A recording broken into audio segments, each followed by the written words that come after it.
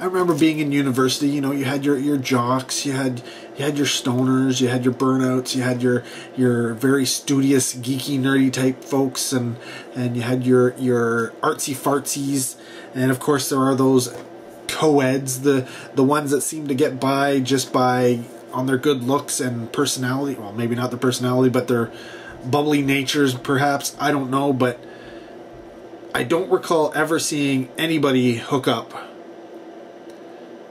who was quite as mismatched as the co-ed and the zombie stoner because I don't remember there being any zombies whatsoever at my university. I'm just saying. If there was, I would have known. But uh, this is the Blu-ray DVD combo pack.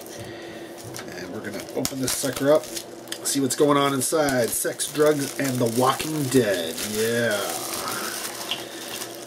This is from The Asylum, of course. So there you go. There's your front cover. Here's your back cover. There's not a lot going on, so whatever. When we open up, are we going to get an eco case? We'll find out. First, we got to take a look. We do get a Blu-ray and a DVD here, and we do get some disc art of sorts. Wow, this is really in there tight. So, there you go. It's essentially just, you know, like coverish type thing. Um, does have the title of the film. It is the same artwork on both. It clearly says The Asylum, and though it is small, it is very easy to see the DVD or Blu-ray logo so you know which one is which. When we pop off this Blu-ray, we get pressed blue, or that's the DVD.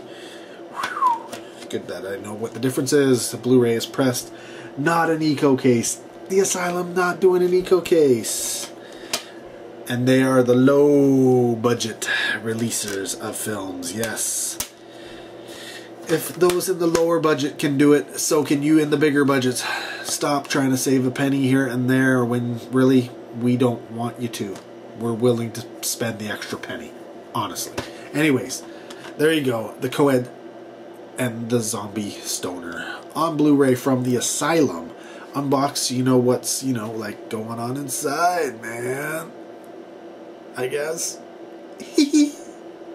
Got nothing. Anyways, let me know if you've seen the film, what you thought of it. Keep it spoiler free as always. Love to hear from you. Thanks for watching. Until next video, take care. Have a good one.